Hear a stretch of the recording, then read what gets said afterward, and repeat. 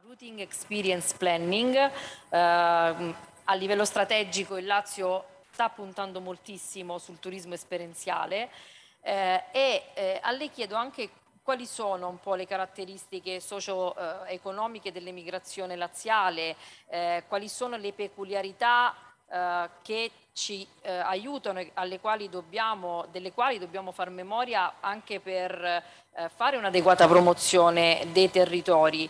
Eh, e ti chiedo Letizia anche di eh, parlarci del tuo libro eh, perché so che oltre a fornire proprio una fotografia del fenomeno del turismo delle radici è anche un importante punto di riferimento come strumento tecnico eh, per operatori, mm, diciamo per operatori intermediari eh, del settore però anche per i turisti, per chi desidera vivere un'esperienza delle radici. Con queste premesse lascio a te la parola. Grazie, grazie, eh, grazie per l'invito, Assessore Corrado, e grazie anche all'organizzazione impeccabile di questo evento. Allora, io sono, mi ricollego all'intervento precedente perché sono in realtà una eh, turista che è andata alla ricerca delle proprie radici negli Stati Uniti, nel Nord America, è andata alla ricerca dei propri parenti nel 1991.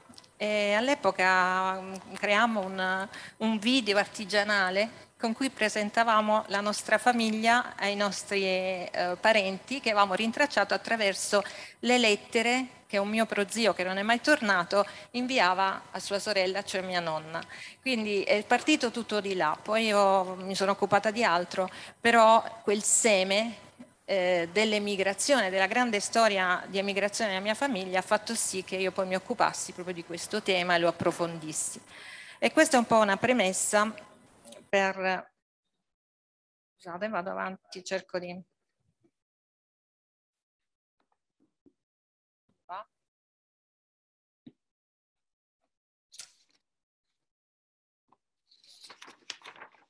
Sì.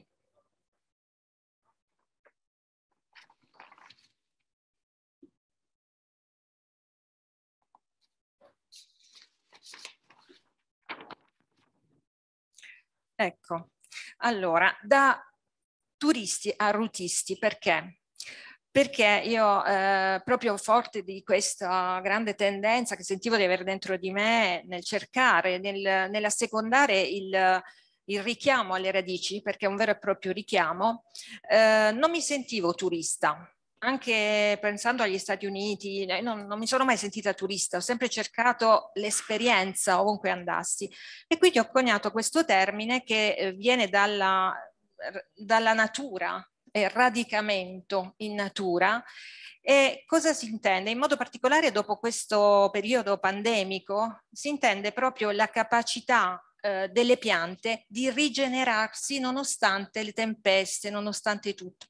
L'emigrazione è sempre stato un punto di rottura col proprio passato. Quindi abbiamo la possibilità attraverso il routing applicato al turismo di, di cercare le radici, ma non solo le radici eh, che sono fuori di noi, ma anche di cercare noi stessi eh, e quindi di, di modificarci, di trasformarci e di rigenerarci attraverso la ricerca delle radici. Oh, mh, partiamo proprio dai numeri dai numeri mh, proprio basilari, quelli che insomma si dice sono 80 milioni discendenti italiani nel mondo, ma gli espatri dal 1861, dall'unità d'Italia agli anni 70, parliamo di 30 milioni, quindi parliamo di 30 milioni di teste che sono partite e, andate. I paesi con maggiore numero di oriundi sono il Brasile, con 25 milioni, si pensi a San Paolo che è la città più grande italiana nel mondo, si dice. E l'Argentina, eh, adesso sono aumentati di 2 milioni, quindi aumentano gli italiani. No, perché stiamo dando i passaporti, sono 20 milioni, 22 milioni oggi, come diceva Vanessa, e negli Stati Uniti 10 milioni a seguire l'Europa. Con la Francia, la Svizzera, la Germania, Australia e per il Lazio vedremo anche molto bene la Gran Bretagna anche perché. Oh, questa slide vuol dare un colpo d'occhio sul fenomeno migratorio che riguarda tutte le regioni italiane. Pensate, anche la Valle d'Aosta, eh, mm, regioni che noi non penseremmo abbiano flussi migratori.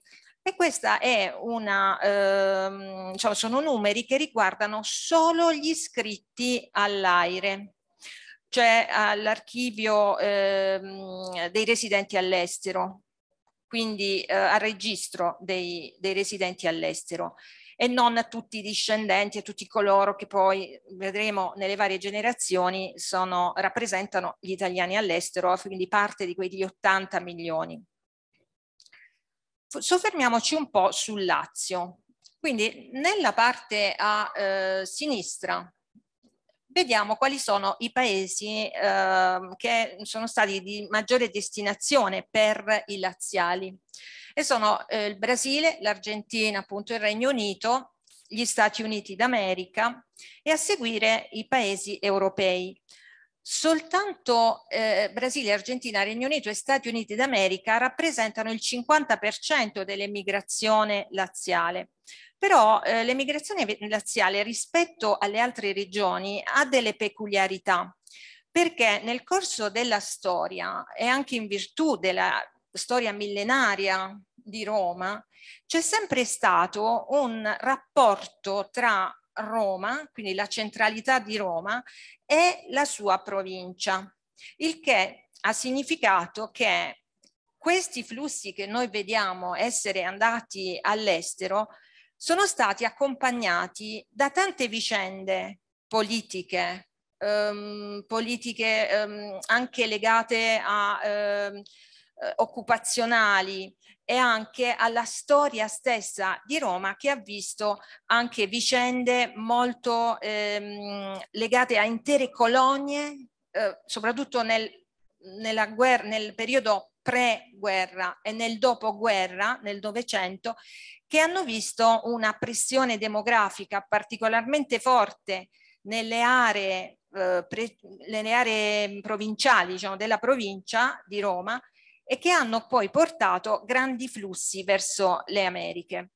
Ma non solo verso le Americhe, perché se noi guardiamo adesso a destra, vediamo che i comuni maggiormente coinvolti dall'emigrazione sono quelli del Frosinate e ehm, dell'area di Latina.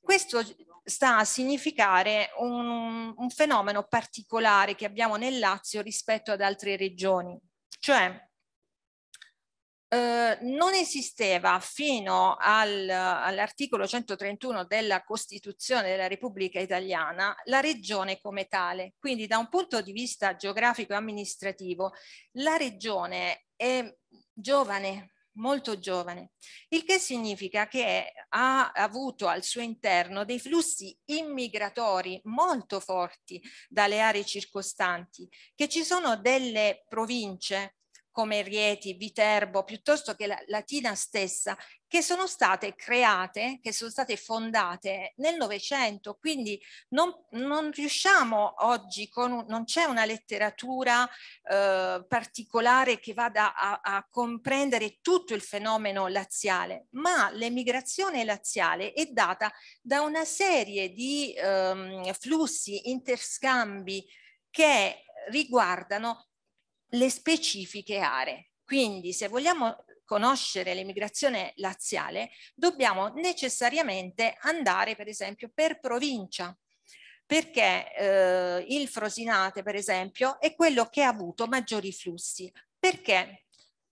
Prendiamo, prendiamolo come esempio perché ovviamente il tempo a disposizione non ci consente di andare su tutte le province, però prendiamo il Frosinate che è un'area che ha avuto maggiori flussi loro partivano in intere colonie di Frosinati, per, partivano principalmente come eh, gelatieri o nell'ambito della edilizia e, si, eh, e andavano principalmente in Europa. In Europa. Infatti ci sono intere, eh, interi paesi eh, che per esempio in Irlanda, Casalettico, eh, che è in provincia di Frosinone, e, ehm, ehm, ha avuto tanti gelatai, cioè hanno creato una eh, vera e propria economia del gelato. economia del gelato in Irlanda. Così come in Gran Bretagna ci sono stati molti che hanno creato eh, andando proprio in gruppo il, mm, eh, il commercio di fish and chips. Tant'è vero che nella ristorazione poi sono andati in crisi, quindi questi flussi costanti e che poi richiamavano altri flussi, hanno abituato a una sorta di bilocalismo alcune città che si ritrovano automaticamente sia all'estero, quindi le comunità sono fortemente interconnesse e negli anni 70, quando il fast food ha sostituito il fish and chips, sono andati in crisi e quindi praticamente è terminata quella, quell'attività. Diciamo. Per cui sono tanti i flussi che possiamo, ehm, che possiamo andare veramente ad identificare nel Lazio e che sono specifici di ciascuna area. Ehm, andando avanti, ecco, vediamo così in sintesi, no? Che eh, Roma è sempre stato un magnete immigratorio in generale, proprio quindi Roma ha una storia separata da, da, dalla provincia, se vogliamo, perché a Roma arrivavano anche, arrivava manodopera dalla provincia e vedremo quali lavori, perché spesso l'immigrazione a Roma è stata, con, è stata sempre segnata dalle categorie lavorative che questa rappresentava. In più eh, lo Stato della Chiesa e il Regno di Napoli si sono uniti soltanto dopo, diciamo, c'erano delle aree dell'attuale Lazio che facevano parte dell'allora Campania o dell'Abruzzo, quindi per molti secoli ehm, il Lazio, se vogliamo, è, ha guardato verso tre direzioni che erano Firenze, Napoli per il Regno di Napoli eh, e Roma, quindi erano, erano, come tre grandi città eh, unite poi, che si sono unite quando è stata creata la, la regione. Le motivazioni economiche e politiche hanno portato all'emigrazione laziale e si sono soprattutto create molte comunità all'estero con quei paesi che eh, hanno proprio costituito delle vere e proprie, dei veri e propri gruppi commerciali.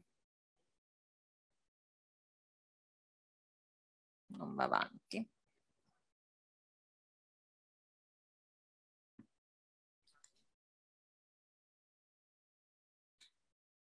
Non scorre, no. Ecco, è andata. Quindi, per fare giusto un esempio, eh, gli imprenditori della manodopera edilizia arrivavano da Monterotondo e Fiano, o eh, da Matrice arrivavano i facchini per le grandi famiglie romane, Qua parliamo di una storia, o i vignaioli dei castelli, parliamo di una storia che va dalla Roma imperiale, che ha visto eh, il ruolo del porto di Ostia piuttosto che del Tevere, la ripa romana, cioè parliamo di grosse potenzialità legate alla lunga storia. Eh, oppure appunto la servitù che arrivava da Marino e Ponzano, cioè ci sono, eh, c'è stato un, Roma è stato un crocevia e lo è tuttora e questo va considerato nel turismo delle radici. Quindi ci sono stati esili liberamente prescelti, per esempio alla caduta del Stato Pontificio molte famiglie legate al clero sono andate in Australia quindi vedete come i rivoli dell'immigrazione sono tanti, l'immigrazione razziale, o le stesse deportazioni di detenuti. Ehm, c'era un sovrappopolamento nell'Ottocento eh, del carcere di Civita Castellana e sono stati inviati 300, oltre 300 carcerati in Brasile. Con eh, la chiusura della, dei, dei, carceri anche in Brasile è stato chiesto asilo all'Australia. E dopo l'Australia anche gli Stati Uniti. E chi riusciva a fuggire è andato in Europa. Quindi pensate, le varie, sto diciamo elencando le varie motivazioni che hanno portato poi i flussi migratori un po' ovunque. E poi c'è un caso particolare del caso di Sora che è stato considerato recentemente, cioè il Sorano è stato, è stata un'area di grande migrazione, però c'è un evento a Sora che è particolare perché è stato ripreso recentemente come un caso di sfruttamento minorile. In realtà cosa si faceva? La povertà era talmente tanta che le famiglie vendevano i propri figli, bambini o adolescenti, eh, per lo più verso la Francia E questi bambini erano dei saltimbanchi, giocavano, eh, divertivano le persone per strada. Quindi anche lì questi bambini saranno diventati adulti ed è una parte del Lazio fuori che vorrà ritornare. Mm, quindi ci sono anche storie molto tragiche alla base dell'immigrazione. Gemellaggi tra comunità, Casalattico a Dublino abbiamo i nostri gelatai e il monopolio dei fish and chips eh, in, Irlanda da parte dei migranti del Frosinate negli anni 50. Ora, è importante per chi, soprattutto per gli operatori turistici, è importante non considerare gli emigranti o i discendenti come fossero un'unica massa informe. C'è la prima generazione che sono gli italiani che sono emigrati all'estero. Cosa curiosa, e forse Vanessa può confermarmelo, che da parte di chi invece ha avuto l'immigrazione, la prima generazione è dei nati da chi è emigrato, Invece noi consideriamo ufficialmente prima generazione chi è emigrato. La seconda generazione, quindi i figli, sono italo-americani, italo-tedeschi, italo-argentini. Man mano che ci si allontana da chi è partito, ormai le nuove generazioni, ormai siamo alla quinta generazione con i bimbi che nascono ora, siamo, sono americani, sono argentini e, e quindi in quanto tali noi non possiamo pensare che chi arriva sia italiano o sia laziale, ha origini, ma dobbiamo necessariamente adeguare la nostra offerta al paese di arrivo. Questo è fondamentale perché alcune volte vedo che eh, il comportamento è sempre un comportamento standard che non funziona perché noi dobbiamo conoscere molto bene cosa c'è dall'altra parte e ben venga il video sull'Argentina che ha le sue tradizioni, che ha le sue, um, le sue um, stesse radici. Noi pensiamo tante volte di essere molto autoreferenziali. Noi siamo cittadini del mondo, siamo immersi in un, in un universo in qualche modo che è collegato e dove le radici ci danno il senso di noi. Quindi questo è un turismo rigenerativo ed è un, anche un turismo alla ricerca di sé. Molto velocemente vi descrivo il routing, perché il routing, che poi, di cui parlo ne, nel libro, è eh, fondamentalmente un, un processo interiore ed esteriore legato all'immaginazione. Perché? Perché quando c'è una rottura rispetto a un processo migratorio, c'è un'interruzione, un'interruzione della propria vita, del proprio contatto col paese che si lascia. Tutto il tempo che resta da quando si va via a quando si ritorna è un periodo in cui si immagina ciò che può essere stato e può essere avvenuto nel paese che si è lasciato. E quindi eh, c'è una chiamata ancestrale alle radici. Nel momento in cui si arriva, quello è il momento della verità, perché pensate con tutti i racconti dei nonni, racconti tramandati in famiglia, delle, delle tradizioni, arrivando, se si trovasse poca qualità, se non si trovasse accoglienza, quel momento sarebbe traumatico più di qualsiasi altro cattivo servizio che potremmo fornire. Quello è il momento della rivelazione nel presente, quindi l'esperienza va curata in ogni minimo dettaglio, per poi portare il ricordo di quell'esperienza che si passa ai parenti, si passa agli amici, si passa nel proprio paese ed è promozione per il nostro paese. Quindi il routing è un viaggio delle radici in stile routing, cioè in profondità, ferma il tempo, non è vacanza, è pienezza, ferma il tempo e ti trasforma e ti rigenera. Questa è una nuova tendenza anche turistica eh, che ci viene dagli Stati Uniti, anche dagli, dagli studi che si stanno compiendo. Abbiamo tre livelli, abbiamo il territory, cioè praticamente noi siamo visti dall'esterno come nazione, quindi abbiamo una italicità di cui ci parlerà il dottor Barbieri che da, da, preservare, da conoscere soprattutto.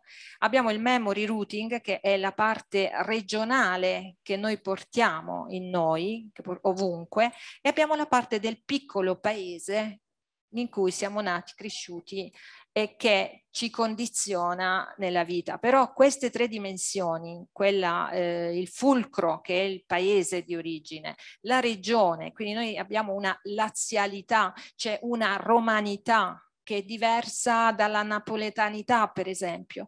Ecco, questo è quello che è nella nostra identità e se noi trasmettiamo quella identità, quella non è clonabile e quindi non abbiamo concorrenti. Semplice abbiamo un'opportunità molto grande. Ecco, vi, lascio, vi, vi, faccio vedere un video che è emblematico eh, di tutti i ritorni che abbiamo fatto.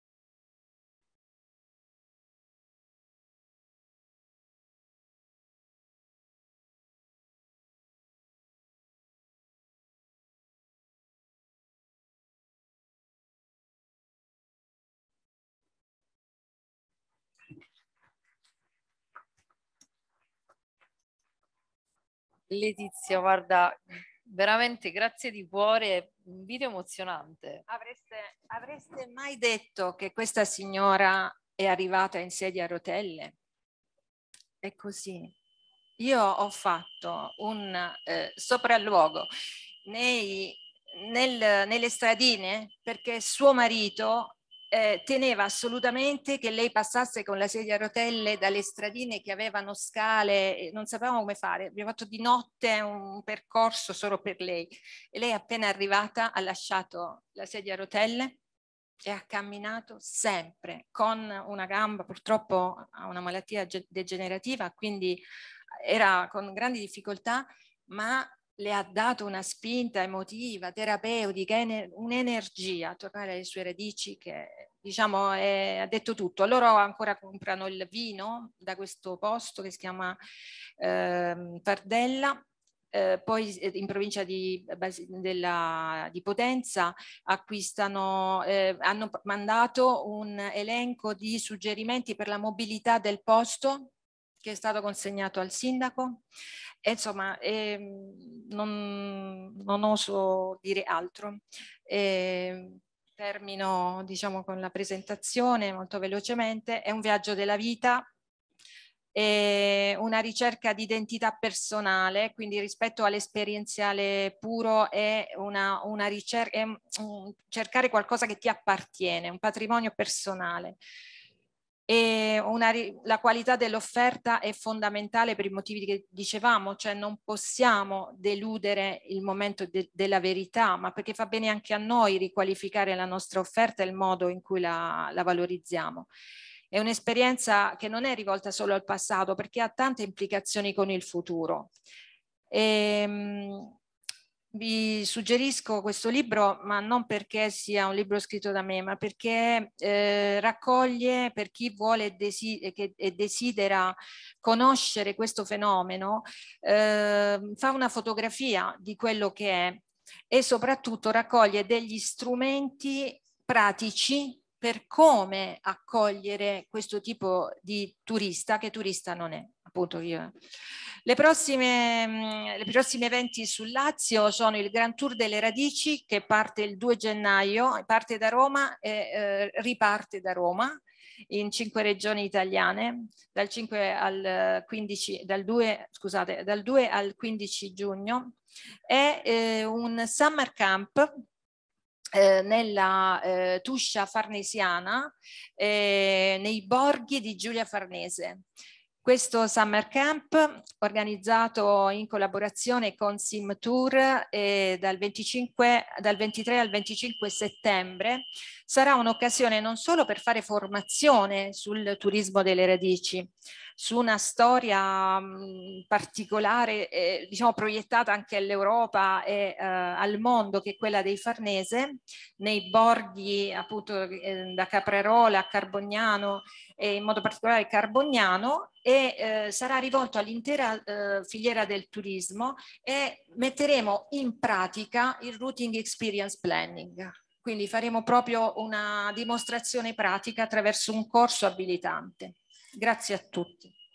Grazie, grazie a te davvero Letizia perché ci hai illustrato eh, egregiamente, io sarei rimasta ancora per ore ad ascoltarti, eh, le caratteristiche proprio socio-economiche legate molto anche alla nostra realtà, al Lazio. Ehm, e ci hai fatto anche emozionare con, con quel video poi che ti dà eh, l'immagine plastica no? di, di, che cosa significa il turismo delle radici e il viaggio della vita, il routing. E, ehm, condivido, uh, da, lo dico da assessore al turismo, quindi chi eh, poi ha l'onore ma anche l'onere no, di eh, guidare la programmazione turistica di un territorio, l'importanza e la centralità che deve avere e qui le regioni gli enti hanno un ruolo fondamentale nel creare le condizioni, il ruolo centrale che deve avere la formazione per la cultura dell'accoglienza.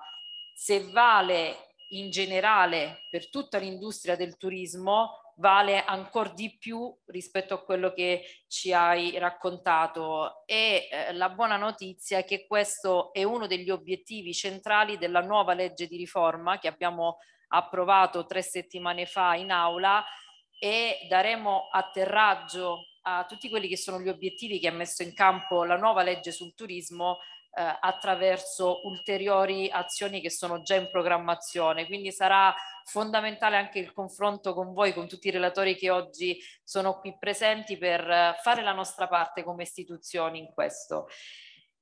Hai parlato anche dell'importanza della cultura dell'accoglienza, eh, anche con riferimento al conservare e trasmettere una delle nostre caratteristiche più importanti, l'italianicità. No? Si è parlato di, eh, di questo. Eh, e se il turismo delle radici abbraccia la memoria, abbraccia la memoria, ma non solo, anche la cultura.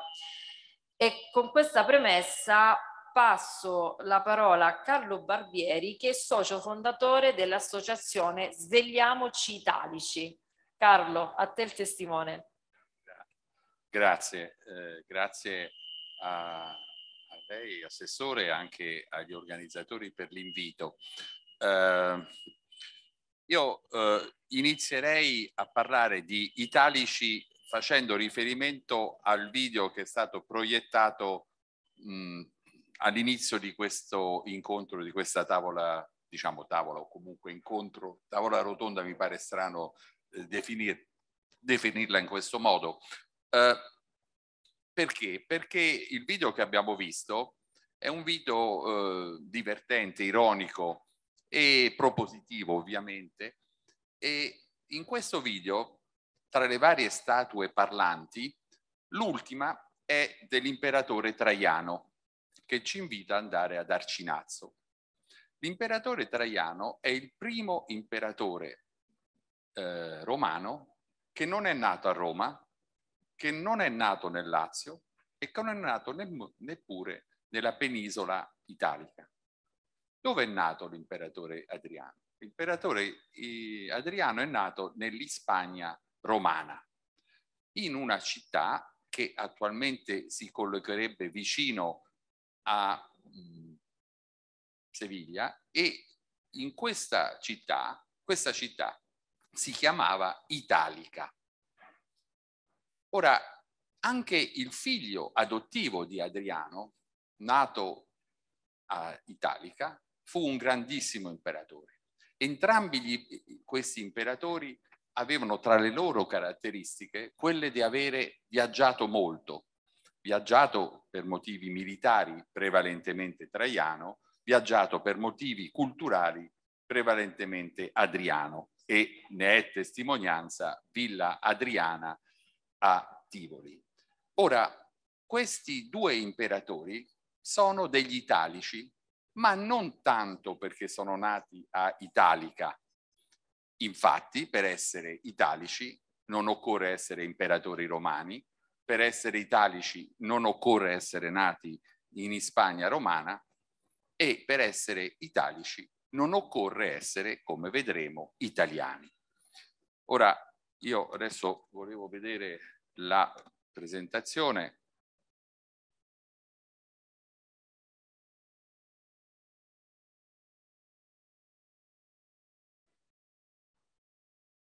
Ecco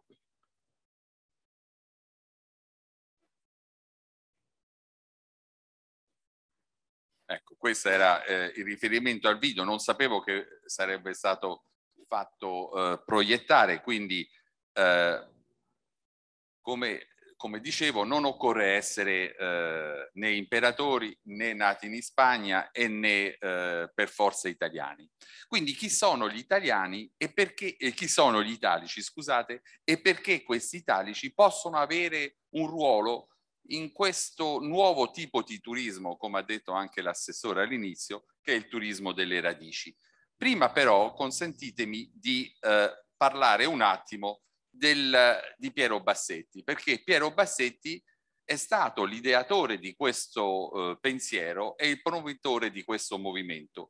Eh, una persona che ha scritto un libro nel 2005 che appunto si chiama Svegliamoci Italici e che eh, promuove che cosa? Promuove un altro modo di vedere eh, i modelli geopolitici e geoeconomici del mondo, andando oltre al concetto di nazione, di Stato, di confine e proponendo delle comunità eh, che ehm, dialogano tra di loro e che eh, si caratterizzano dalla una comunanza di valori eh, condivisi.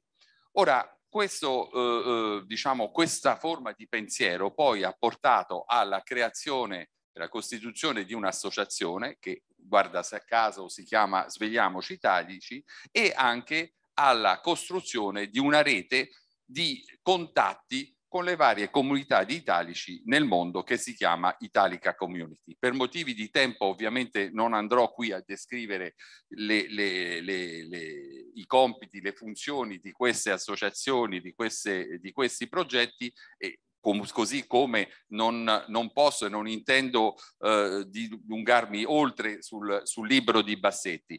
Sono chiaramente a disposizione a, per ulteriori eh, diciamo, spiegazioni magari dopo questa tavola rotonda o comunque vi invito a eh, visitare i siti di queste due associazioni e di queste due iniziative.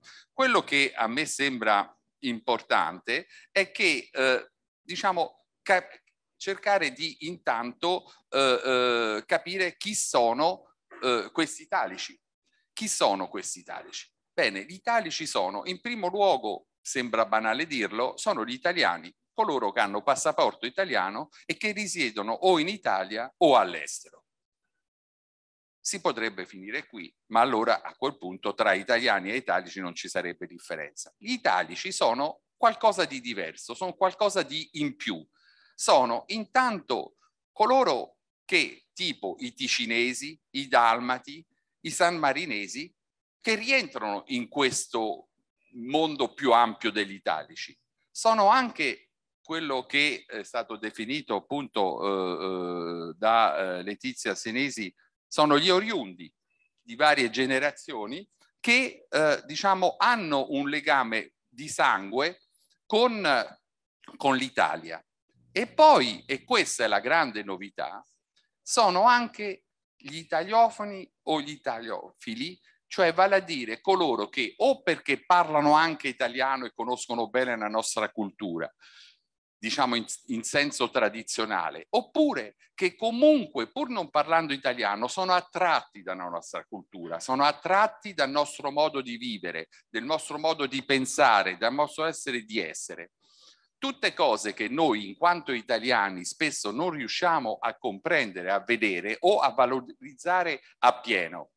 Per noi il termine bellezza, per noi il termine diversità è un qualcosa di quasi ovvio, di quasi naturale. Per altri popoli questo è un qualcosa di incredibilmente ricco e questo aspetto qua attrae e questo aspetto qua fa sì che altri popoli, altre civiltà vengono attratte da, questo, da questi fenomeni. Quindi tutte queste eh, categorie la somma di tutte queste categorie fa un universo di almeno 250 milioni di persone. Ricordate che Letizia aveva detto prima che c'erano a livello di oriundi di varie generazioni, eccetera, quasi forse 80 milioni, ai quali bisognerebbe aggiungere i 60 degli italiani. Bene, a questi bisogna aggiungere ancora, ecco perché il numero di 250 probabilmente è anche sottostimato, un numero incredibile di persone che sono vicine alla nostra cultura, non all'Italia in quanto nazione, all'Italia in quanto cultura.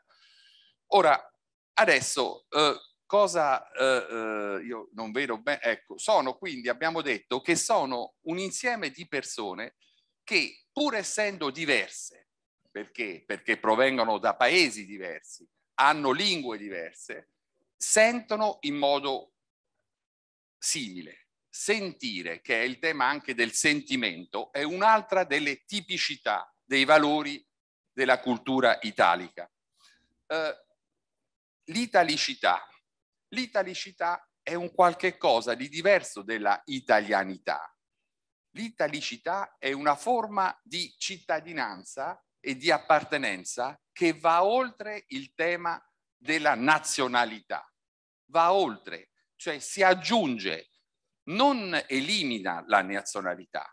Noi possiamo essere italiani, riconoscerci nella bandiera italiana, nei valori italiani, nella patria, non, non è un problema questo. Il tema è che noi siamo anche, ad esempio, europei e dell'Unione Europea. Allora questa pluridentità, mentre è più o meno capita, interiorizzata qui in Europa, nell'ambito dell'Unione Europea, dobbiamo immaginarla a livello mondiale una, una forma analoga vista invece per quanto riguarda l'italianità. Una serie di persone che si sentono vicine da questo punto di vista. E questo è un valore chiaramente incredibile e importante. Quindi il termine, per quanto riguarda noi dell'associazione Svegliamoci Italici, il termine radici non è per noi, per la nostra interpretazione, non è soltanto quello della memoria, pur importantissimo, una memoria importante perché è il tema del turismo di ritorno, il tema del routing, il tema questi temi qui sono a nostro avviso molto importanti e quindi vanno valorizzati, come uh, è stato appena illustrato dalla dottoressa Sinisi. Ma a questo noi vogliamo aggiungere un altro elemento, e cioè che le radici per noi italici sono anche un discorso di appartenenza a una cultura comune e quindi è un discorso che va oltre il tema della memoria, è un discorso di costruzione insieme per un dialogo futuro unificante tra paesi diversi. Questo eh, ci porta a evidenziare come appunto questo mondo degli italici offre una opportunità incredibile eh, sia in termini di domanda turistica, sia in termini di offerta turistica e non solo per il fatto che stiamo parlando di un mondo che non è soltanto, fermo restando che è importante, quello degli oriundi e, e degli ex immigrati o, dei, o degli discendenti degli immigrati, ma va ben oltre. Quindi che cosa, che cosa eh, riteniamo sia necessario fare? Come è stato anche appena detto dall'assessore Corrado, è che occorre puntare su un tema molto importante che è quello della qualità, e cioè di proporre non solo cose nuove per un interlocutore nuovo, che è questo degli italici, ma proporlo in maniera diversa. Quindi fare delle proposte turistiche ma in modo diverso, molto più elaborato, molto più sofisticato, puntando anche appunto sul tema della qualità. E questo che cosa significa? Significa che al di là degli investimenti materiali che dovranno essere effettuati e non solo ovviamente per il mondo degli italici, ma in generale per il settore del turismo, peraltro gli italici anche per quanto riguarda il settore materiale gli investimenti materiali potrebbero svolgere un ruolo importante in quanto potrebbero apportare capitali per il miglioramento e investimenti diretti, ma questo è un altro discorso. Quello che a me sembrava interessante qui eh, evidenziare è il tema invece degli investimenti immateriali. Investimenti immateriali da un lato per eh, mh, migliorare la capacità di ascolto, la, la capacità di capire che cosa questo mondo italico necessita, si aspetta, eh, si attende nell'andare a visitare certi luoghi e fare questi incontri che appunto anche Letizia accennava. Quindi aumentare la capacità di ascolto, dall'altra parte dare delle risposte, perché non basta ascoltare occorre poi anche dare delle risposte. Ecco, questi due aspetti portano a cercare di costruire un modello. Cercare di costruire un modello che si basi da un lato sul eh, miglioramento del dialogo e della conoscenza reciproca, ma nello stesso tempo nella capacità di realizzare quello che eh, abbiamo eh, ideato e pensato. La capacità di realizzare io ho utilizzato in questa slide un termine che in italiano a me personalmente non piace molto come eh, termine eh, linguistico, e cioè implementare. Ma implementare l'ho utilizzato apposta perché in qualche maniera per farvi comprendere anche la filosofia, lo spirito del tema italico, cioè implementare è ormai diventato un termine italiano, ma è evidentemente derivato dalla lingua inglese. Esattamente questo è il tema dell'ibridazione degli italici, cioè cercare di coniugare il sentimento, la bellezza, l'idea, la creatività con la capacità di realizzare. La prima, le prime caratteristiche sono molto più italiane, le seconde a volte sono un po' più anglosassone. Eh, andando oltre, andando avanti, eh, il tema del modello turistico. Ecco, il modello turistico, come ho detto, occorre a nostro avviso puntare molto sul tema della comunicazione, sulla capacità di, as di ascolto, sulla capacità di proporre e di realizzare. Un aspetto volevo evidenziare. Come italici e come modello volto a valorizzare il, diciamo, la grande comunità degli italici, noi riteniamo che occorra, proprio per il fatto che queste comunità sono sparse in tutto il mondo, valorizzare al massimo lo strumento informatico, le tecnologie. Ma queste tecnologie vanno applicate in modo che comunque conservino in qualche maniera anche un elemento di umanità.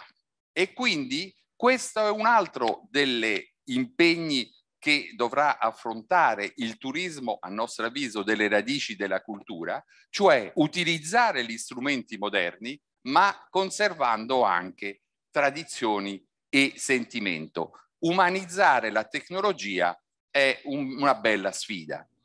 Uh, quindi cosa, cosa si richiede? Da un lato, come associazione Svegliamoci Italici, noi stiamo puntando al tema della formazione insieme a Scuola Italica che abbiamo eh, creato anni fa e che ora stiamo rilanciando, stiamo strutturando una serie di eh, corsi destinati a italiani e a non italiani, a eh, soggetti pubblici e soggetti privati per, eh, diciamo, insieme eh, andare avanti nella forma di educazione per poter ascoltare da una parte e realizzare. Per poter realizzare è l'altro obiettivo è quello della progettazione e nella progettazione abbiamo anche come partner nel viaggio e nell'esperienza la società di Letizia Sinisi che ha appena descritto alcune delle iniziative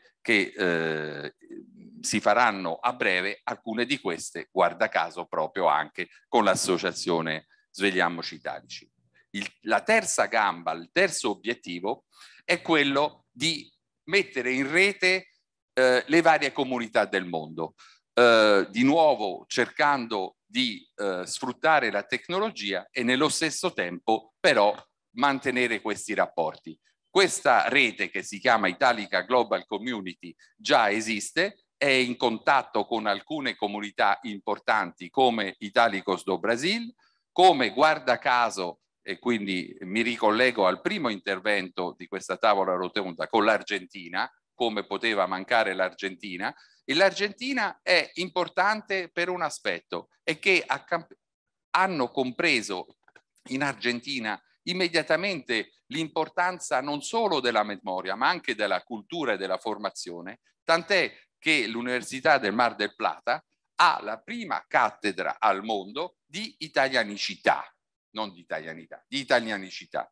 E, e, poi abbiamo una serie di altri contatti che si stanno costruendo con una serie di altre comunità. A questo punto arriviamo alla fine dell'intervento e chiedo scusa per la lunghezza. Eh, da un lato noi riteniamo come italici che eh, si può si può utilizzare maggiormente l'apporto che gli italici eh, delle varie comunità italiche all'estero. Comunità che per comunità distinguiamo in due eh, categorie. La prima è quella degli italiani che eh, sono andati all'estero, eh, ma non che stanno fuori Italia, ma non quelli delle passate generazioni, quelli che sono andati in questi ultimi anni quelli che vengono definiti i famosi cervelli, eh, fuga di cervelli e che invece a noi piace di più definire eh, cervelli in circolazione, eh, cervelli che, che sono curiosi, che vanno fuori e che possono ritornare, che anche ritornano. Ci sono anche questi cervelli che hanno lasciato certe regioni, lo ha, ce l'ho appena accennato l'assessore prima, che hanno lasciato eh, e sono andate in altre, ma non è che hanno abbandonato quelle, eh, quelle originarie. Ecco, questi cervelli, queste persone hanno un ruolo importantissimo nei paesi dove risiedono e possono dare un contributo incredibile anche nell'ambito del turismo delle radici. Questo è un perché? Perché anche hanno aumentato in maniera considerevole la reputazione dell'Italia mon nel mondo. L'altro è invece, e qui lo vedete, sono tutta una serie di italici, cioè di non italiani, che pur vivendo all'estero conoscono l'Italia benissimo e sono amanti dell'Italia e che possono in qualche maniera venire, diciamo, dare un apporto ulteriore in questo movimento in, in, in que con questi obiettivi. Qui c'è la fotografia di Franz Timmermans che è il vicepresidente della Commissione europea, è un olandese, è una persona che ha vissuto vari anni a Roma per un motivo semplicissimo, che il padre era diplomatico, se non vado errato era l'ambasciatore olandese qui a Roma, ha vissuto a Roma ed è tanto romano che è diventato anche romanista, convinto romanista e quindi come vedete speriamo che porti bene anche per la finale fra qualche eh, settimana. Detto questo, l'altra, l'altra faccia degli italici sono gli italici che invece vivono in Italia. E chi sono questi italici che vivono in Italia? Gli italici che vivono in Italia, piuttosto che a Roma o nel Lazio, sono in primo luogo, sono quelli, sono gli italiani, gli italiani che hanno una cultura internazionale, che per lavoro, per formazione, eccetera, possono essere anche dei giovani che hanno partecipato ai vari progetti Erasmus, che sono pronti a vedere questo discorso che va oltre le frontiere.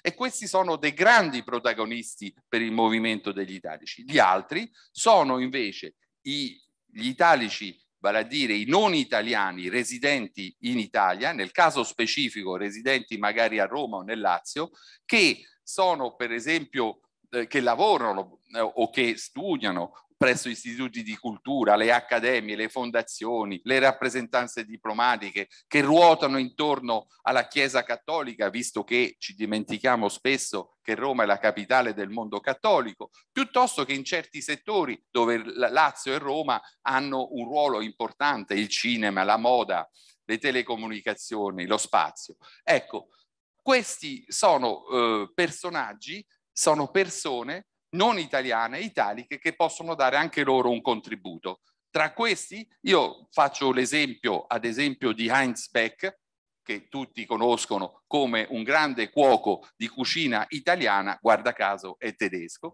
E un'altra cosa che volevo solo ricordare a noi, soprattutto che viviamo a Roma, che fare una passeggiata a Valle Giulia significa fare una passeggiata nella cultura mondiale, per tutte le accademie che ci stanno lì. Ora, tutti questi eh, italici sono tutti eh, in grado di dare concretezza alla capacità di attrazione del nostro paese, che poi che cos'è?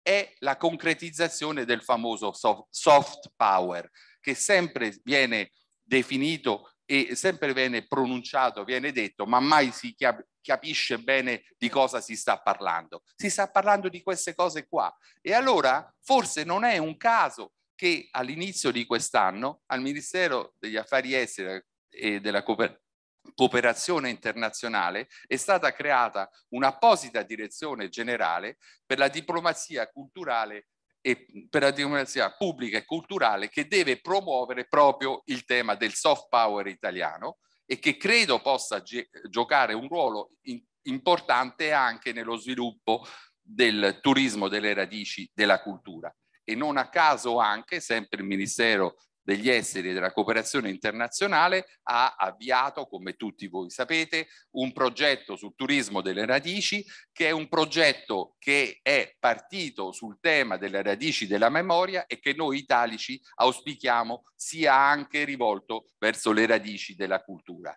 Tutte queste cose che ho detto sforando ampiamente i 10 milioni, i 10, sì, milioni, 10 minuti 10 che tempo a disposizione a conferma che forse sono più italiano che italico, eh, perché la sintesi non, non, è proprio una mia caratteristica, eh, per dire un'ultima cosa, che gli italici possono svolgere un ruolo molto importante in due fenomeni che coinvolgeranno l'Italia, la Regione Lazio e Roma, e in modo particolare da un lato il giubileo del 2025 e anche la candidatura di Roma all'Expo per il 2030.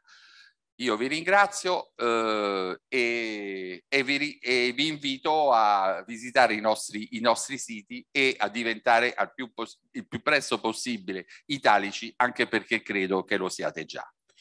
Grazie, grazie Carlo perché veramente ci hai eh, illustrato un, un tema anche che richiede tempo, no? Anche per farlo metabolizzare, però ce l'ho illustrato con una chiarezza eh, inaudita ehm, il significato del, del turismo delle radici che abbraccia non soltanto la memoria, perché è l'associazione più immediata che viene a chi sente eh, l'espressione turismo delle radici, ma anche l'intera cultura, quindi appartenenza alla cultura comune.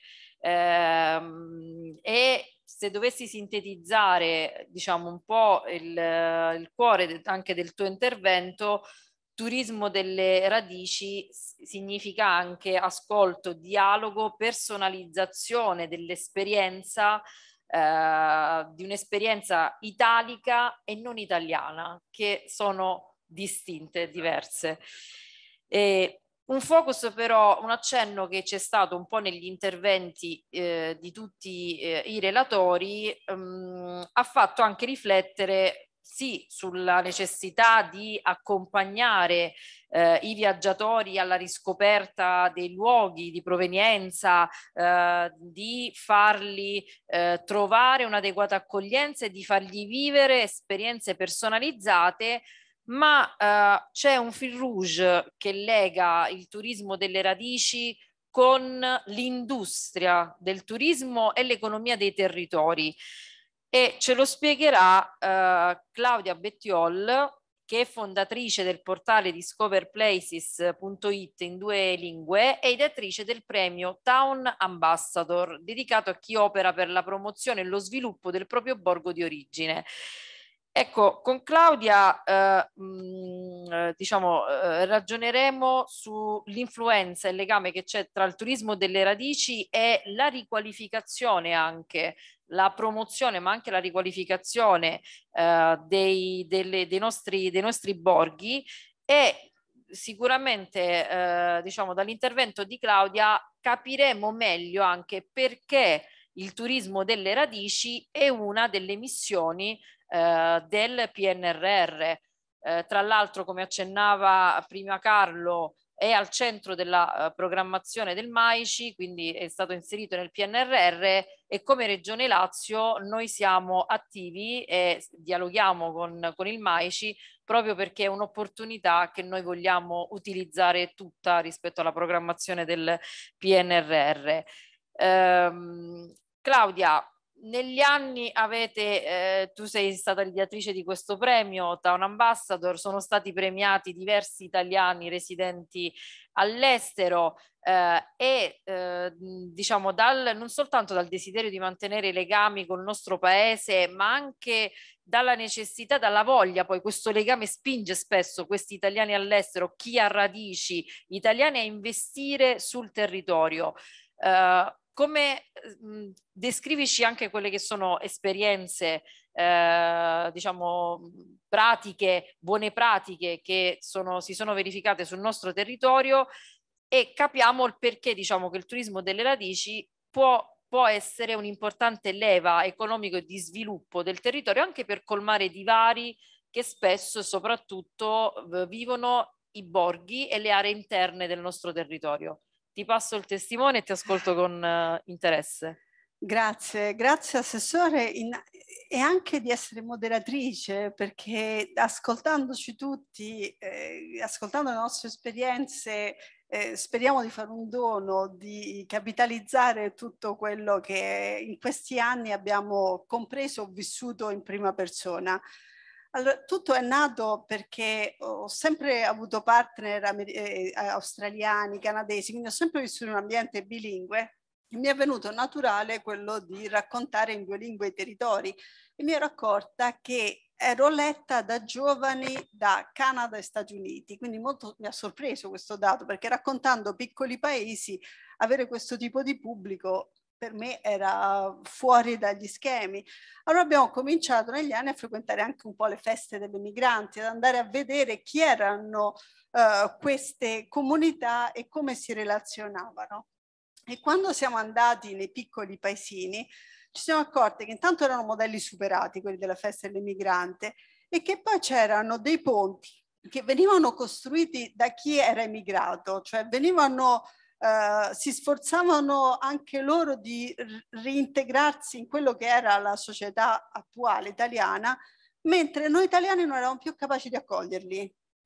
Cioè mi sono trovata in dei paesini in cui c'erano americani, canadesi, persone che parlavano inglese come lingua principale, che cercavano di comunicare con gli italiani e gli italiani che erano quasi indifferenti. Adesso dico una cosa che è un po' triste, però come se eh, noi avessimo dato per scontato per anni che delle famiglie che erano emigrate spendevano migliaia e migliaia di dollari per venire in Italia, prendere un aereo, stare più giorni, costringere i, i figli invece che andare alle Maldive o in altri paesi a venire in paesini piccolissimi di tutto quello che è non solo il Lazio, immaginiamo questo fenomeno ovunque e noi non abbiamo capito il grande bagaglio d'amore che loro avevano.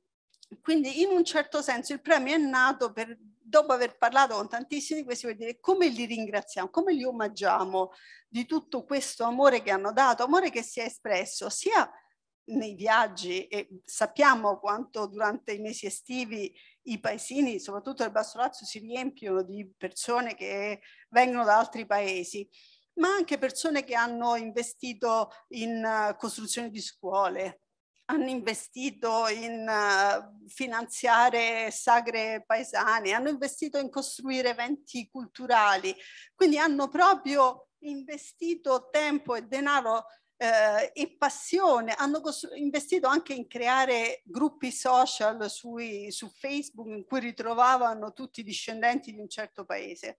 Quindi qui nasce il premio Town Ambassador che diamo insieme ai sindaci, alle persone che hanno mantenuto oh, un forte legame d'amore ma anche di eh, investimento talvolta e, e l'anno scorso abbiamo avuto anche il patrocinio del Ministero degli Esteri e dell'Enit. Poi eh, sono nate anche amicizie perché dare questo premio significa eh, creare anche un riconoscimento perché molto importante il premio viene dato con un'adesione di una delibera di giunta quindi il nome resta poi nei, eh, nei, agli atti. Quindi è qualcosa che eh, diciamo gratifica il, la persona.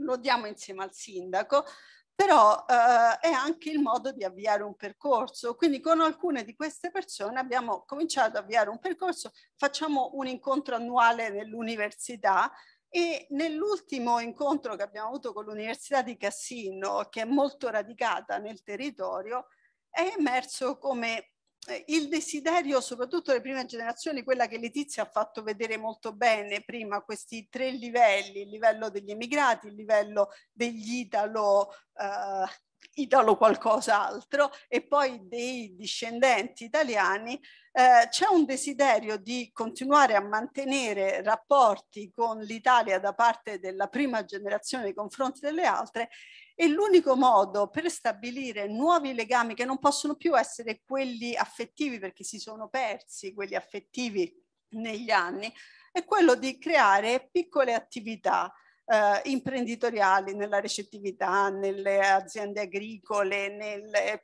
in modo che ci sia una, uh, una, necessità di dover tornare in Italia per mantenere attivi questi, queste attività.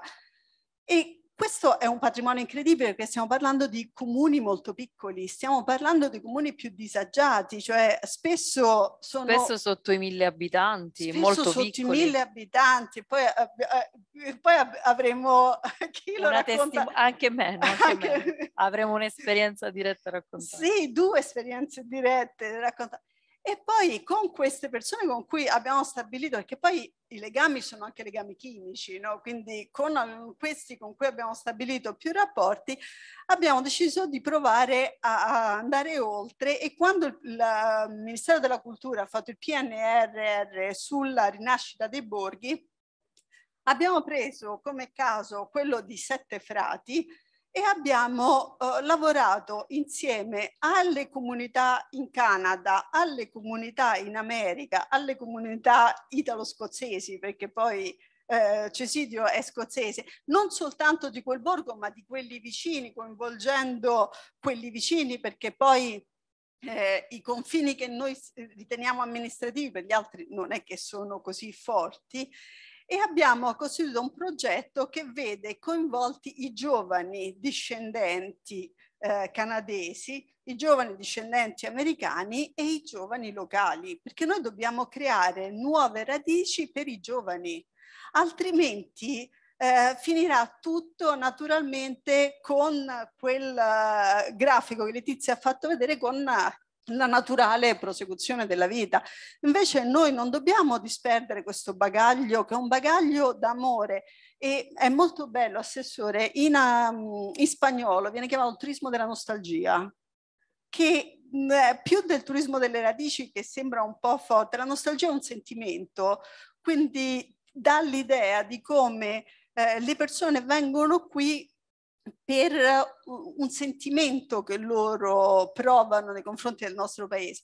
E devo dire, in questa esperienza, poi magari parleremo del Borgo di Sette Frati, possono leggerlo su, sul portale, possono leggere tante cose che dobbiamo fare. Par parleremo della Madonna di, del Canneto, il sindaco lo, è, è, un forte, uno strenuo promotore tra l'altro. Però una cosa che devo dire un'attenzione che mi è arrivata tantissimo perché lavorare con uh, fusi orari diversi, con generazioni diverse, con culture diverse è stato un challenge, un, una sfida molto grande. Abbiamo lavorato due mesi intensi e devo dire che siamo stati anche molto guidati dai tecnici del PNR che hanno preso Sette Frati come una scommessa per creare un modello nazionale. Quindi eh, diciamo, facciamo tutti i lobby per uh, avere questo progetto, affinché questo progetto possa diventare, possa essere approvato e avere, diventare un modello.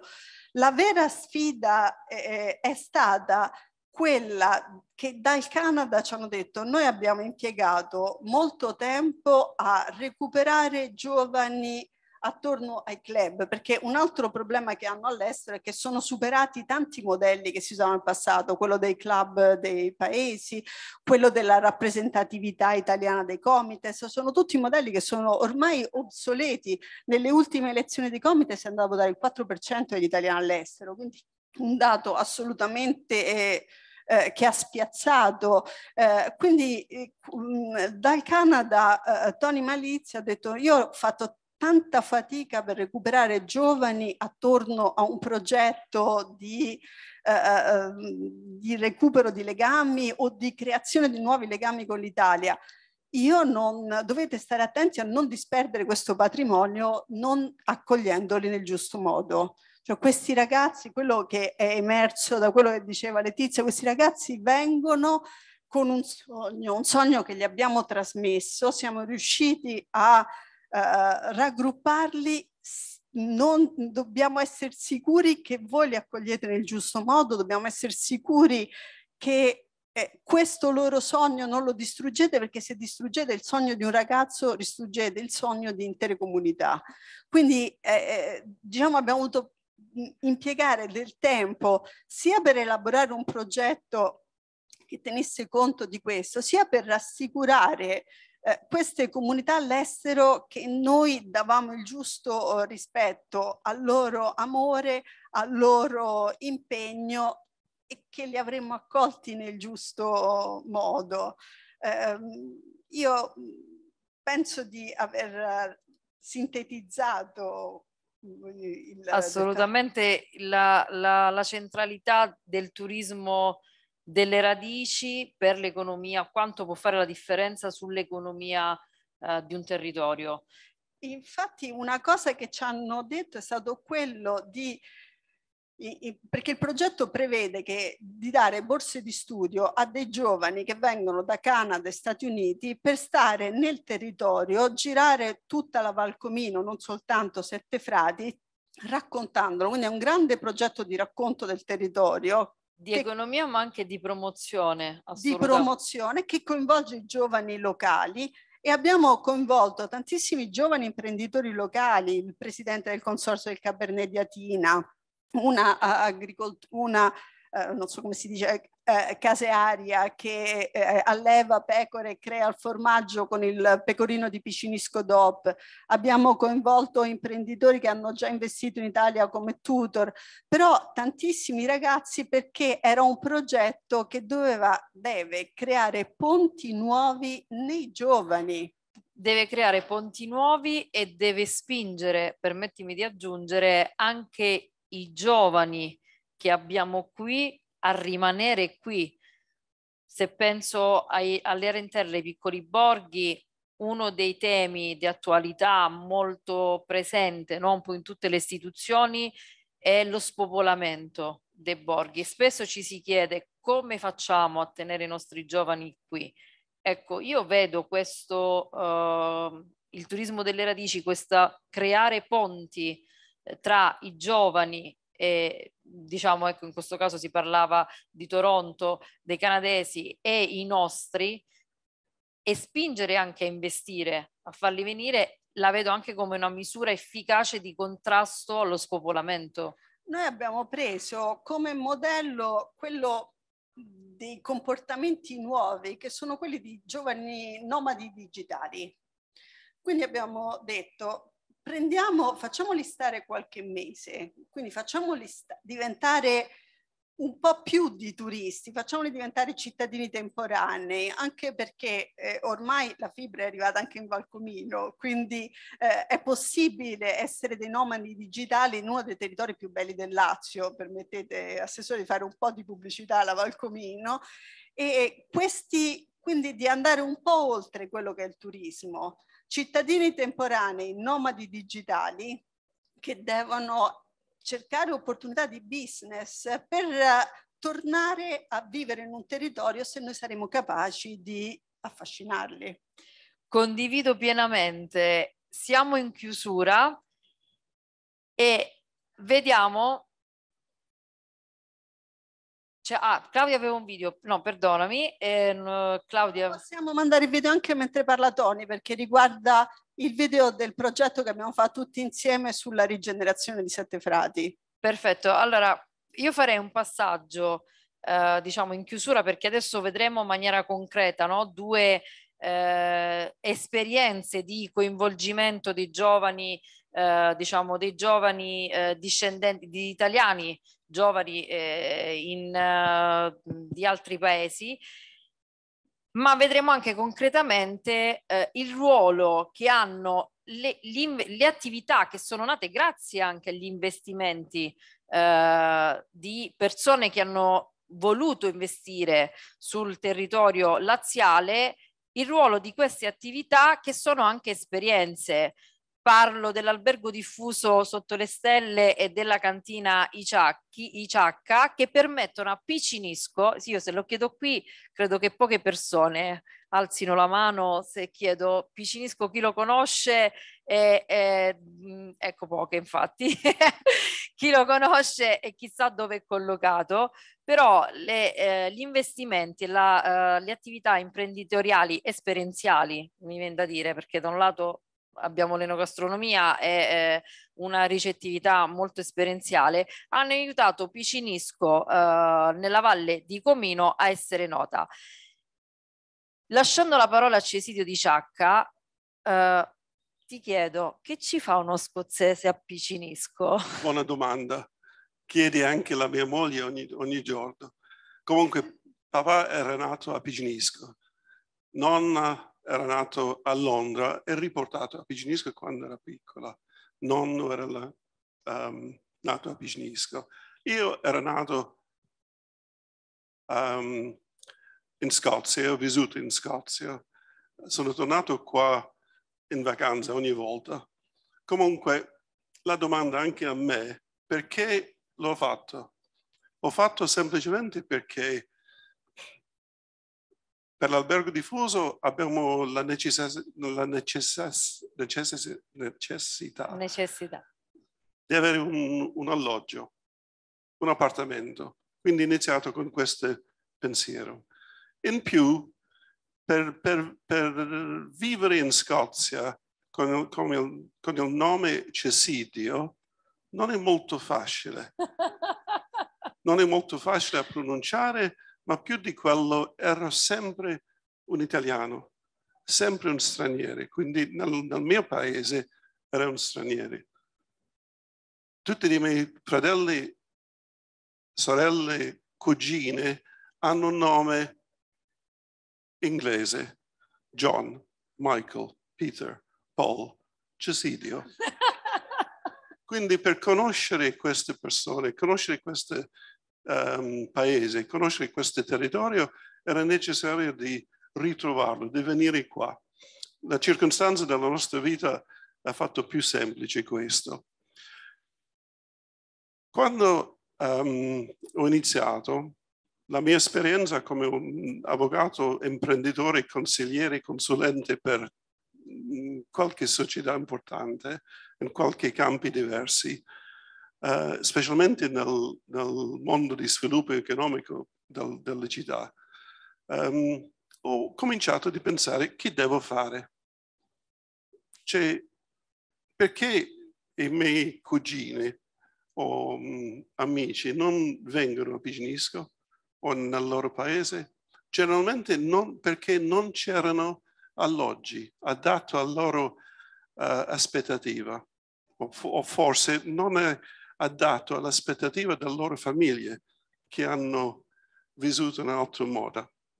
Quindi è necessario di fare un albergo diffuso di un, un, certo livello, un buon livello, perché se le persone van, vanno in, in, uh, in, America, a New York, a Londra, a Parigi, um, a Malfi, uh, in tanti tanti parti importanti del, del mondo, e vengono qua per trovare rudere, chi serve? Perché non, non tornano sempre forse vengono una volta e poi fermano. Non ritornano.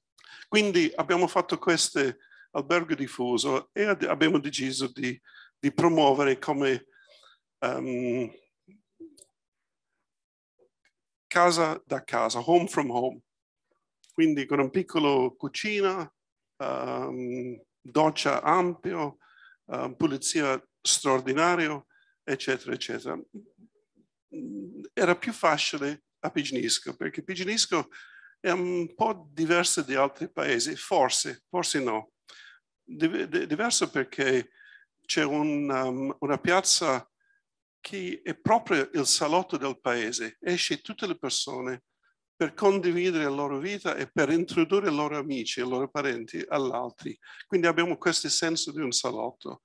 E vengono persone di tutto il mondo la settimana scorsa c'erano persone di Scozia, di Inghilterra, di Parigi, di Belgio, di Amsterdam, di eh, Praga, di America, di Canada, di Venezuela e di Islanda.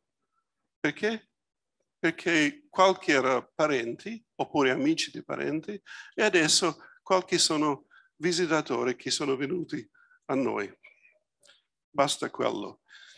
Permettimi a dire che per, per per mettere tutti questi um, uh, numeri grossi in contesto, che Scozia, uh, secondo il consolato nel 60, il consolato italiano in 60, 65 ha detto 60-65% dell'italo-scozzese hanno origini di Piginisco, che ha una popolazione di 1200 persone, 1200.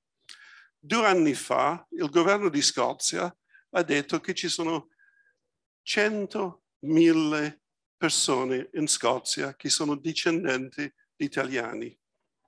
Quindi secondo questi due fatti ci sono più di 65.000 persone in Scozia, sono in Scozia, discendenti di piginiscani.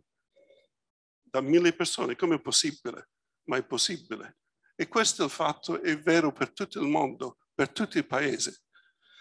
Quindi abbiamo questo mm, legame forte, abbiamo uh, questo salotto, abbiamo l'esperienza di tornare a casa anche per quelli che hanno emigrato 120, 150 anni fa. E poi c'è qualcos'altro strano. Piginisco come un, un, un, paese con una popolazione di 1200 si può trovare sull'Amazon mm, verso 8, 9, forse 10, 11 libri scritti in inglese che parla della storia, la tradizione, la cultura e la cucina. Perché? Perché fuori c'è questa passione, questo interesse nel paese, nelle persone che non sono venute spesso, ma hanno studiato, hanno sentito loro uh, parenti, loro nonni. Uno, un'avvocatessa a New York, prima mai ha visitato Piginisco.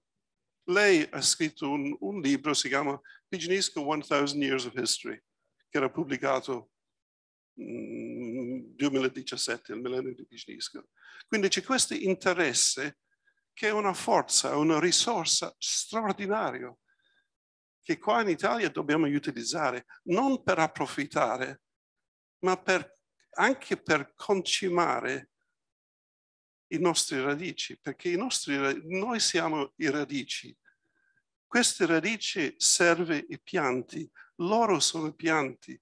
Dobbiamo alimentare quelle pianti, quindi i concimi necessari. E come cominciamo, come posso, possiamo um, concimare uh, queste, queste persone? L'accoglienza, certamente, le strutture, certamente, la gastronomia, certamente, ma in più queste persone che vengono terza, quarta, cinque, sesta generazione hanno la voglia di saperci, di conoscerci, di conoscere uh, la storia, di, di, sapere il motivo per uscire, per andare, che non è quello scritto nel, nella storia, e, non è quello portato dai, dai, dai parenti, di, di, nonni, di genitori, oppure dalla comunità, che mh, mm, tante volte è è non è preciso. È distorta. Es esatto. Qu quindi è essenziale di, di, di, di, sapere, di studiare la storia, di studiare la cultura, la tradizione e mettere in una forma che fa accessibile a queste persone. Quindi il turismo di, di, di, di radice è un turismo che non è, deve esistere solo per prendere delle persone, ma dobbiamo far mangiare le persone che vengono. È un scambio. Nutrirle. Esatto. Al stesso tempo, l'esperienza qua a Piginisco è importante perché uno porta l'altro, come sempre, come i nostri discendenti che sono andati all'estero hanno portato i loro amici e i loro parenti e, e, e fanno anche in, in riverso. Quelli che vengono portano anche le loro radici, loro amici, perché hanno una, um, un, un, trovano un, un, passione, un interesse, uh, accoglienza che non aspettato, un'esperienza che diventano uh, ambasciatori per per noi. Per concludere, perché io ho la capacità di parlare per troppi tempi, um, quelli che vengono, che tornano a casa, a casa, devono tornare più ricche, forse anche solo della storia, della cultura, di un libro, di un assaggio, di un, un nostalgia che hanno preso, ma forse possono convincere quelli che stanno lì in tutto il mondo più ricchi che, uh, che possibile. E non dimenticare, solo, solo in Val di Comino abbiamo um, cresciuto Charles Forte, alberghieri, Anita Roddick, The Body Shop, um, Edoardo Palozzi, uh, il scultore in bronzo per la regina, uh, Sir Richard DeMarco, uh, artista, um, Francis Rossi, status quo, Lady Gaga, a Brocostella, tanti, tante persone, ma c'è una ricchezza straordinaria, non solo in arte, ma anche in industria, anche in, in uh, fish and chips, in gelateria, eccetera, eccetera. Questo può essere qualcosa che permette questo territorio, Valdicomino, Piginisco, ma tutta l'Italia, di continuare, di continuare ad esistere. Perché se le, queste persone non, non eh, tornano e non trovano um, l'opportunità, l'accoglienza, la, le strutture e tutte le cose che ho parlato, non spendono.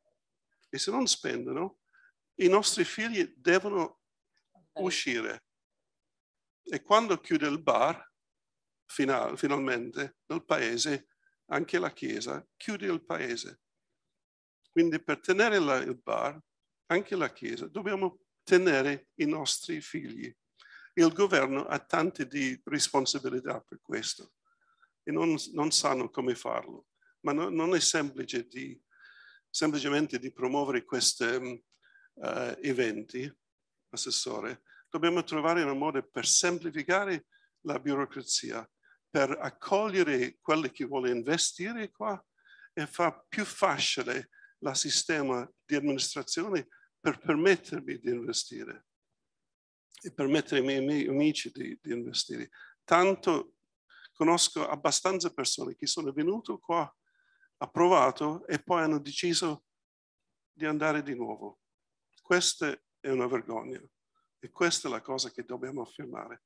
Grazie a tutti. Grazie Cesidio per averci eh, veramente rappresentato come non, non conta e non eh, serve soltanto una cultura dell'accoglienza, far vivere l'esperienza personalizzata, ma come il turismo delle radici, il turista delle radici ha bisogno anche di arricchimento, di, di sentimento e, e, condivido sulla necessità della semplificazione e te lo dico anche in qualità di assessore che ha la delega alla semplificazione anche in Regione Lazio stiamo lavorando e presto vedrà la luce un, un provvedimento che eh, semplificherà procedimenti alleggerendo quelle che sono le procedure più critiche e complesse eh, che purtroppo aumentano i tempi di risposta delle istituzioni nei confronti delle imprese e dei cittadini. Quindi colgo con favore anche questo, questo aspetto.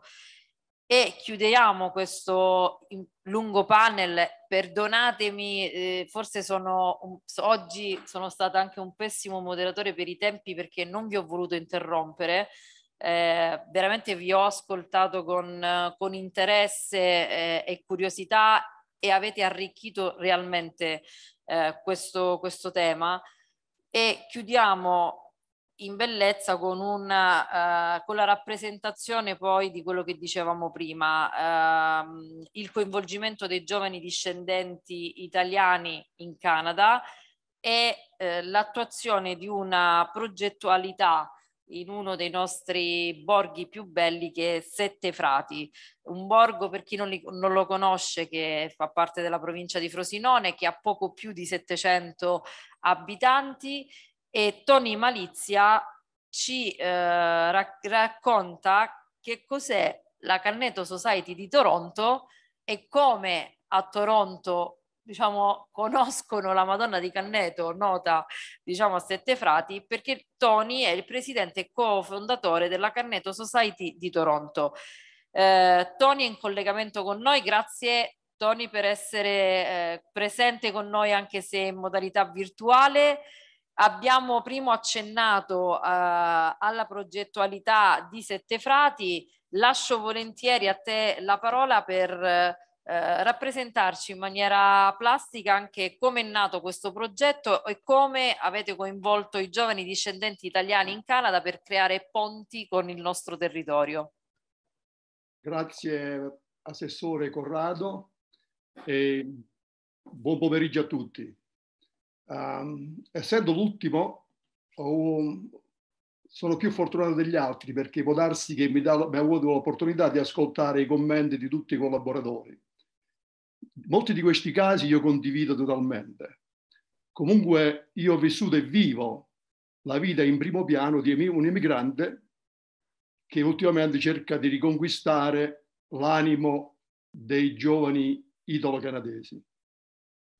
Io sono nato a Sette Frati, in provincia di Frosinone, e emigrai in Canada negli anni 65, quando in Italia, eh, anche essendo un tecnico, avevo difficoltà a pianificare il mio futuro. Decisi quindi di attraversare l'oceano e mi andò benino. Comunque, giunti in Canada, ci incontrammo con qualche amico. Di quei tempi in Canada arrivavano molti italiani e da Sette Frati arrivavano a barche intere. Ci incontrammo con un mio amico, un certo Giuseppe Palombo, e discutemmo un po' eh, le nostre opinioni circa quello che abbiamo trovato qui a Toronto, in Canada, eh, dei nostri compaesani, che ce n'erano tantissimi, e notammo che si aveva bisogno di radunarli, di tenerli insieme, di, eh, di, di, di sopportarci l'uno con l'altro. Quindi creiamo la Canneto Society, allora chiamato il Comitato Pro Sette Frati, il quale, con il quale fummo capaci di radunare centinaia di persone, centinaia di famiglie, non di persone, perché poi ogni, ogni persona rappresentava una famiglia. Ma la maggior parte erano tutti di prima generazione, cioè gente che era immigrata qui pochi anni prima di noi, 20 anni, 30 anni prima, 10 anni ma tutti pronti ad accoglierci e ad ascoltare le nostre proposte. Quindi eh, fecimo proposta di creare questa associazione come un'associazione culturale per poterci incontrare, parlare e discutere dei cambiamenti in patria, in patria. e nel frattempo la, la, l'integrazione necessaria per vivere in Canada. Quindi nacque la, la, il comitato Pro Sette Frati. Presto fu notato che molti dei membri volevano avevano, come anche noi, la, la, la, grande devozione alla Madonna di Canneto, che nel il territorio Sette Frati, e quindi eh, decidemmo di espandere gli orizzonti dell'associazione a includere non solo Sette Frati, ma tutta la Valcomino, quindi eh, cambiamo il nome della Comitato Pro Sette Frati a quello della Canneto Society, cioè un nome che di rappresentanza molto più ampia che solo il paese di Sette Frati. Eh, questo fu un altro successo, infatti radunammo molta gente della Valcomino, del Sorano, del Cassinade, eccetera, eccetera, e fu un successo ancora molto elevato, al punto che decidemmo di duplicare il pellegrinaggio alla Madonna di Carneto di Sette Frati anche qua a Toronto. Quindi nel 1968 fu portata a Toronto la duplica dell'immagine della Madonna di Canneto a Toronto, con pellegrinaggi in in un monastero santuario che ha delle caratteristiche molto simili a quelle di Canneto in Sette Frati. E tutto andò così, quindi abbiamo fatto delle feste culturali, abbiamo promosso cultura, tradizioni, eccetera, eccetera, sempre con la prima generazione. Passò un certo... le cose andavano, benissimo. Nel frattempo io mi ero dedicato a una carriera, una carriera manageriale che poi mi ha portato a diventare un manager internazionale una multinazionale e quindi viaggiare molto e quindi uh, fui meno capace di partecipare a, a, questo programma. Fino a pochi anni fa, quando lo vedemmo in crisi, cioè eh, quelli di prima generazione erano invecchiati eh, oppure deceduti la seconda generazione partecipava pochissimo e di terza generazione non c'era nessuno. Finito. Quindi eh, si era deciso di smantellare l'associazione. Eh, quando fui, fui, chiamato si poteva intervenire. Il mio intervento puntò subito alla terza generazione, seconda e terza generazione. Quindi avvicinare questi giovani, parlarli, chiamarli, non è stato facile, è stato un lavoro molto difficile ma che però molto soddisfacente. Quindi negli ultimi cinque anni abbiamo convertito la Canneto Society da quello di era gente di prima generazione a gente che adesso rappresenta seconda e terza generazione. Quindi, molto coinvolti. I giovani, sette, i giovani settefratesi e valco, valcominesi, residenti qui a Toronto che fanno parte della nostra associazione, hanno una sede di cultura, di tradizione, di storia del loro paese. Mi hanno raccontato storie che volevano tornare in Italia, sono tornati in Italia a visitare con i genitori, quando gli è andata bene. Non sono stati accolti, non sono stati compresi. Quindi abbiamo dovuto rinnovare in loro, grazie a un comitato nuovo creato di gente di, seconda e terza generazione, i quali hanno capito esattamente cosa è successo, la malcomprensione.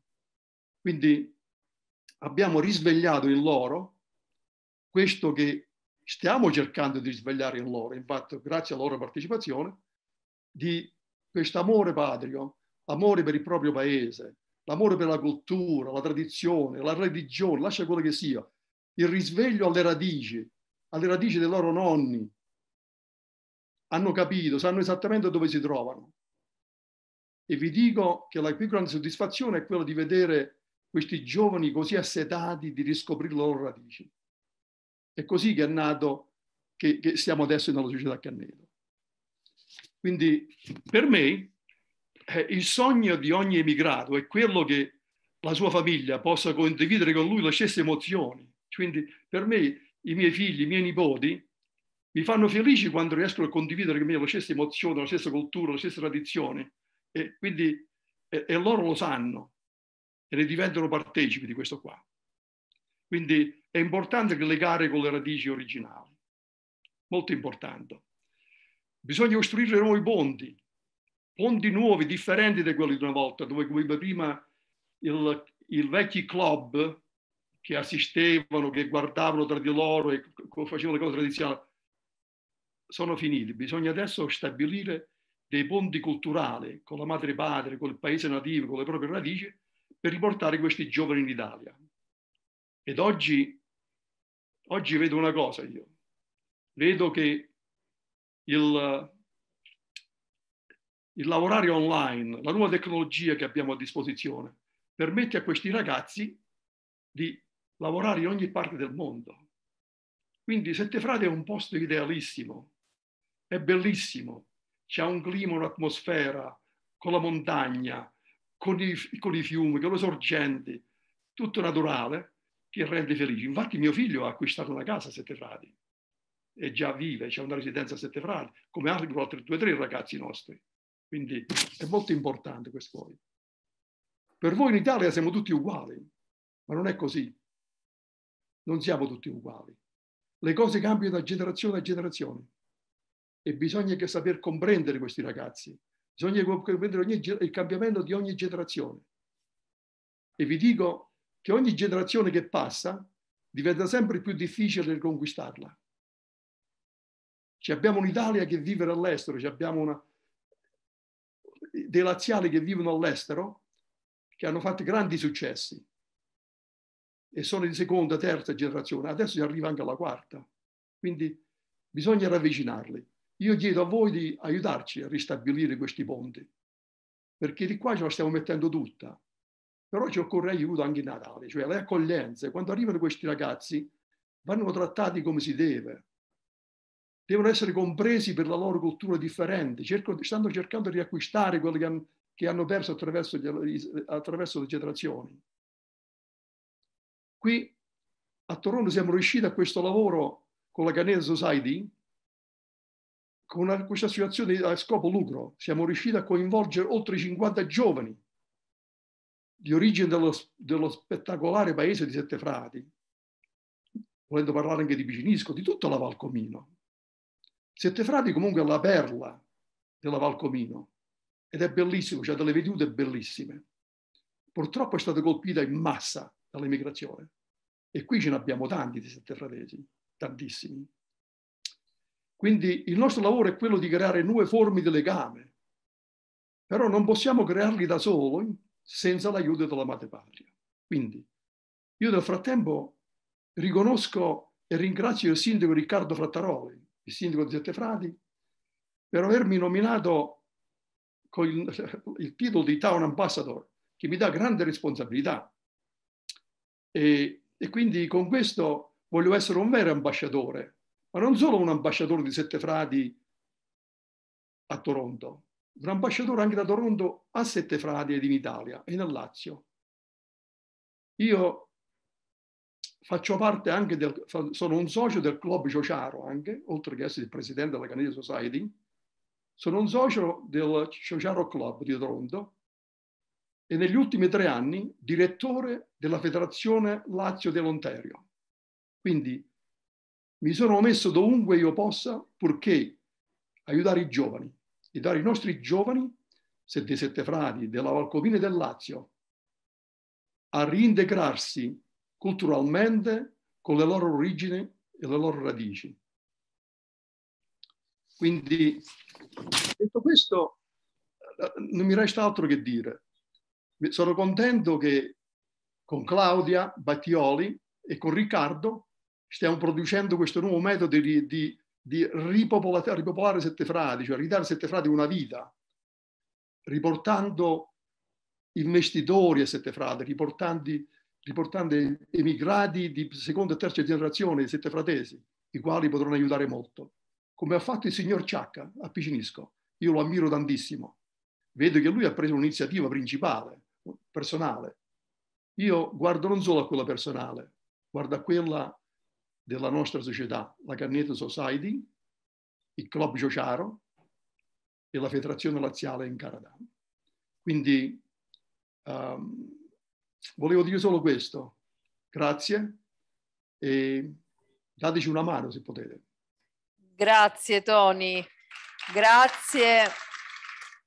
Vera, grazie sentitamente anche per l'impegno che stai veramente che ci stai mettendo per, soprattutto per il coinvolgimento dei giovani. Ne parlavamo prima come il turismo delle radici è fondamentale anche eh, per, non soltanto per creare ponti, ma anche per far rimanere eh, le, le, nostre anche nuove generazioni che eh, hanno bisogno di, motivo, di motivo per restare ed è fondamentale per contrastare questo fenomeno dello spopolamento de, delle piccole aree, dei borghi, che richiamava pure prima eh, Cesidio quando diceva se chiude il bar della piazza eh, cioè, finisce tutto, finisce anche la chiesa, chiude tutto, si, pian piano i nostri bon- i borghi perdono eh, le generazioni future che invece devono trovare un motivo e delle ragioni per, per restare. Su questo mi sento di dire veramente non per non perché rappresento un'istituzione, ma come Regione Lazio stiamo facendo tanto.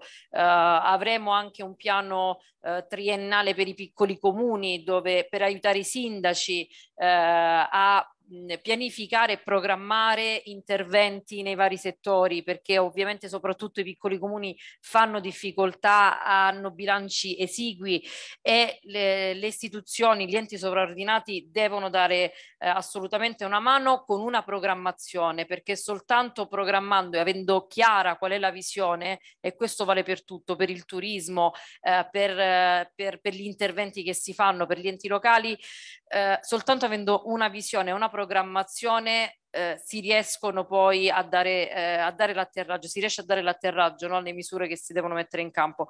Quindi mi sento veramente di dirti che noi stiamo eh, lavorando per questo, per, per, aiutare i nostri sindaci, ma anche eh, per eh, sostenere eh, veramente il turismo delle radici che abbiamo visto e vi ringrazio, uh, ringrazio Vanessa, ringrazio Letizia, Carlo, Claudia, Cesidio e anche te Tony, grazie ai vostri contributi, uh, se prima non avevamo dubbi perché è, ripeto, una, uh, un segmento sul quale stiamo puntando come, eh, come, regione, stiamo collaborando con il MAICI anche perché uscirà una guida proprio dedicata al Lazio eh, rispetto alle radici italiane in collaborazione con il MAICI.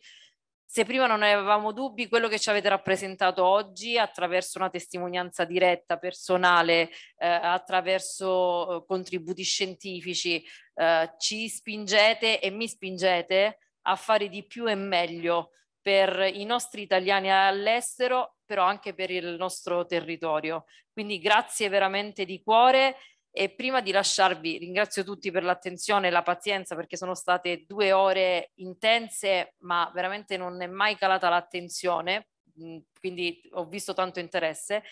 Prima di andare via vi lasciamo con, uh, di nuovo nuovamente con le immagini uh, del nostro video promozionale come spot di promozione della destinazione uh, Roma e Lazio.